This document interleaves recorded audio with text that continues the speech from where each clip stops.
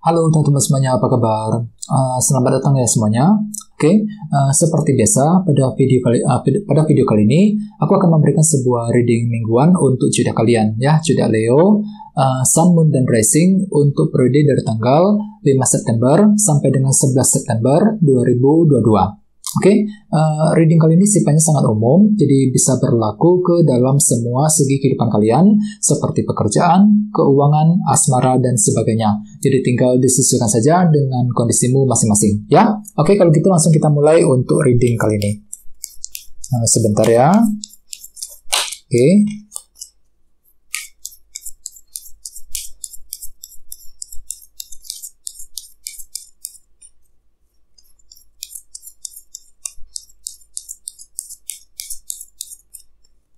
Oke.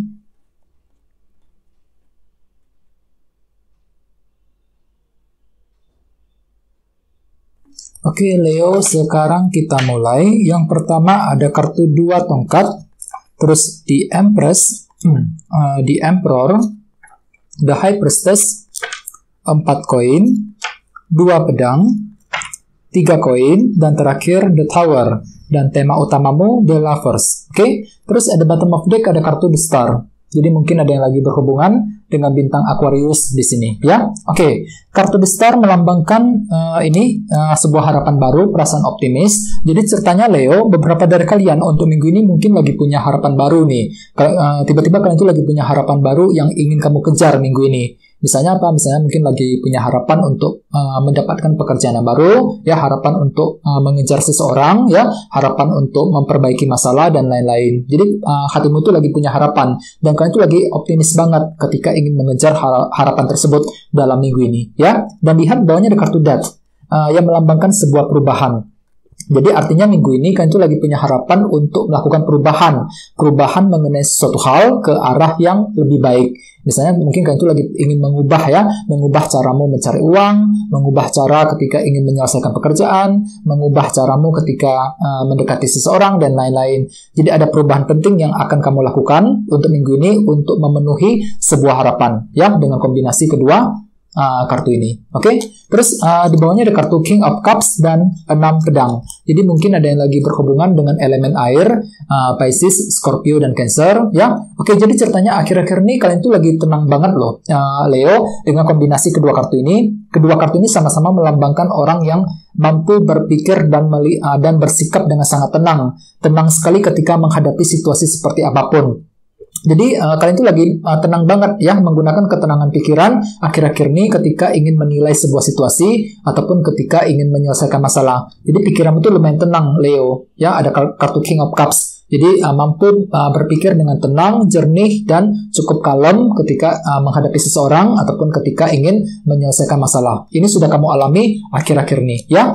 Oke, okay, jadi intinya dengan kartu besar Aku lihat ada harapan baru muncul ah, tiba-tiba dalam dirimu. Kalian itu lagi merasa optimis untuk mengejar sebuah target dan tujuan, ya. Dan lihat tema utamamu kartunya The Lovers. Jadi mungkin ada yang lagi berhubungan dengan bintang uh, Gemini di sini, ya.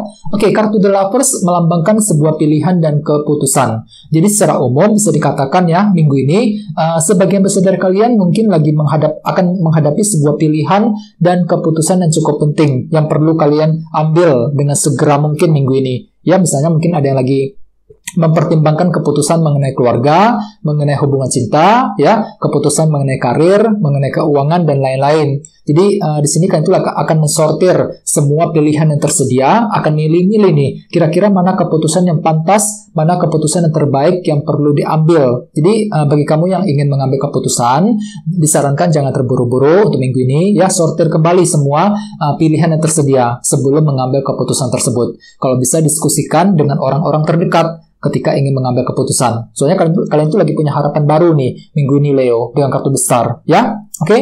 uh, eh, sekarang kita lanjut. Jadi reading kali ini akan uh, dibagi menjadi dua bagian uh, untuk awal minggu dan di akhir minggu. Oke, kita mulai dari awal minggu ya.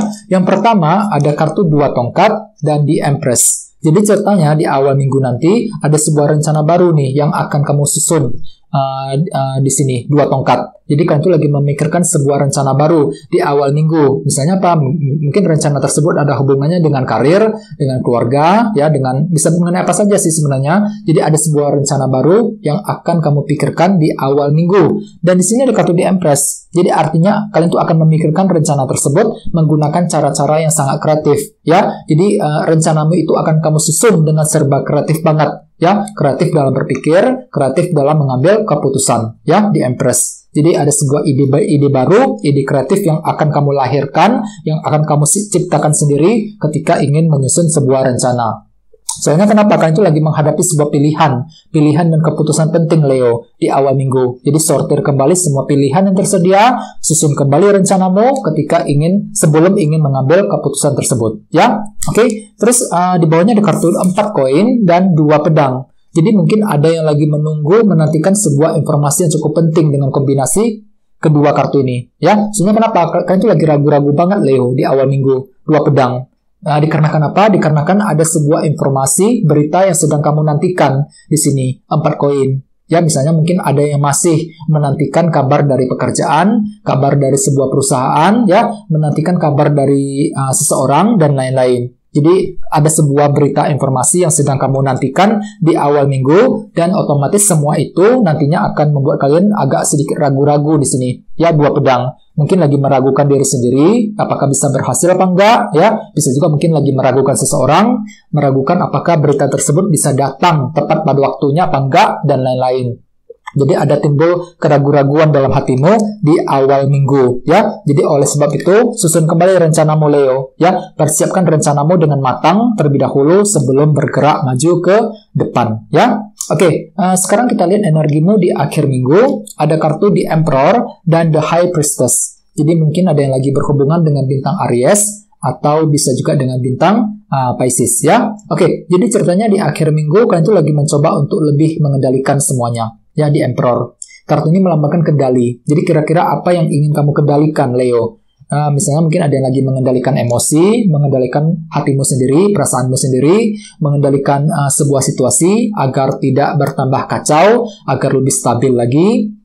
Jadi kalian itu lagi fokus untuk mengendalikan semuanya. Dikarenakan apa? Dikarenakan uh, kalian itu lagi ragu-ragu di awal minggu tadi, dua pedang. Jadi semua itu akan kamu stabilkan kembali, akan kamu coba kendalikan di akhir minggu agar tidak semakin melebar, agar tidak bertambah kacau. Ya, jadi gunakan situasimu di sini the high priestess untuk menentukan langkah selanjutnya. Ya, di bawahnya ada kartu tiga koin dan the tower. Jadi ceritanya di akhir minggu ada semacam perubahan sudut pandang di sini, uh, the tower yang akan terjadi. Jadi cara berpikirmu tiba-tiba akan berubah ya pemikiranmu terhadap terhadap seseorang misalnya tiba-tiba berubah pemikiranmu mengenai uh, suatu hal mengenai sebuah konsep mengenai pekerjaan ataupun mengenai keuangan tiba-tiba berubah. Jadi intinya pikiranmu tiba-tiba berubah Leo di akhir minggu. Ya ada suatu hal yang memicu terjadinya perubahan pikiran di sini di akhir minggu nanti. Ya dan di sini, uh, dan perubahan tersebut uh, perubahan pikiran tersebut akan bisa kamu gunakan untuk membangun kembali semuanya.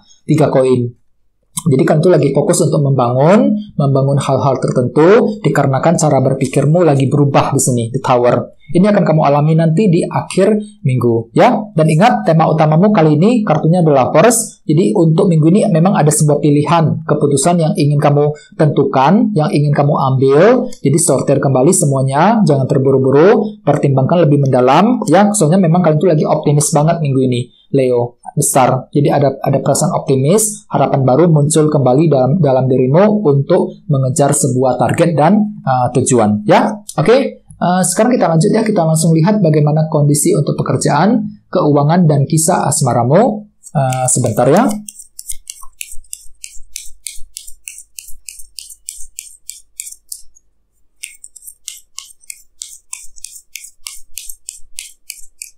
Oke, okay.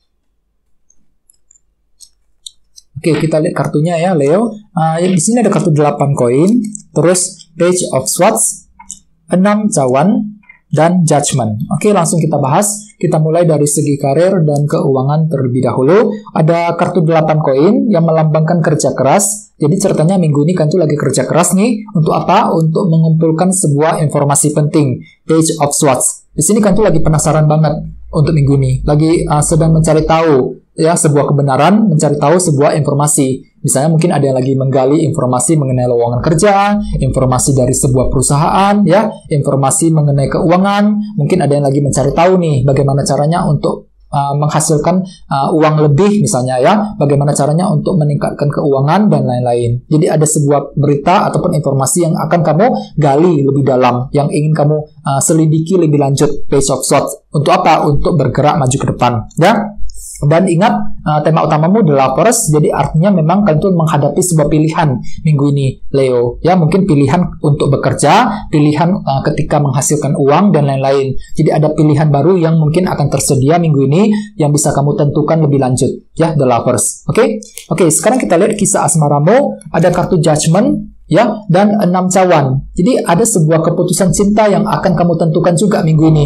Judgment cukup menarik energinya. Ya judgment. Jadi ada sebuah keputusan uh, cinta yang akan kamu tentukan uh, mengenai masa lalumu sendiri. Enam cawan. Ya uh, nggak harus selalu dengan mantan ya. Uh, soalnya kartu enam cawan kan melambangkan masa lalu, masalah ma uh, uh, situasi yang sudah lewat. Bisa itu mantan, mungkin keputusan mengenai uh, mantan misalnya, keputusan mengenai hubungan cintamu dengan seseorang ya yang pernah hadir dalam dalam hidupmu. Bisa juga mungkin sekedar hubungannya hubunganmu dengan pasangan sekarang ini. Ya mungkin kalian itu lagi punya konflik ataupun masalah kecil akhir-akhir ini yang belum beres yang perlu untuk dibereskan minggu ini. Ya Leo. Ya terutama bagi yang lagi couple. Ya jadi untuk minggu ini kan tuh akan mengambil keputusan untuk menyelesaikan masalah tersebut terhadap pasanganmu. Ya Soalnya tema utamamu juga kartunya The Lovers kan? Jadi ada sebuah pilihan dan keputusan yang kamu hadapi minggu ini, terutama dalam hubungan cinta. Ya, jadi apa pun itu, jangan terburu-buru, uh, tentukan dengan sebaik mungkin uh, keputusan yang ingin kamu lakukan. Ya, oke, okay? oke okay, teman-teman guys, kita dulu untuk readingnya. Uh, semoga readingnya uh, bermanfaat ya. Uh, jika kalian suka dengan uh, video ini, jangan lupa untuk subscribe dan sampai jumpa di video berikutnya. Terima kasih. Bye-bye.